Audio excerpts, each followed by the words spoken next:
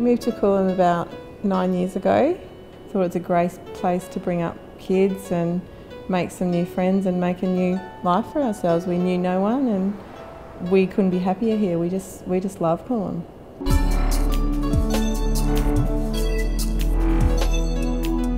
We did really well. We've got a lot of undercovered area, so when you get those amazing Queensland storms, you can still have all the doors open and still be letting that fresh air into the house. You actually become a, a weather watcher here, you know, you just love the storms and every morning it's the first thing you do is walk out and, and you, you become the judge of what the day is going to do. This winter we purchased a fire pit which we have out on the unroofed balcony and we use that all winter, like nights, Friday nights mainly, we would have drinks and dinner out there with the fire going and yeah, it was just... Some Sunday nights on a school night. Yeah, it just brought another element to the house really. It would have been easier to put the pool down lower, it is eight and a half metres out of the ground.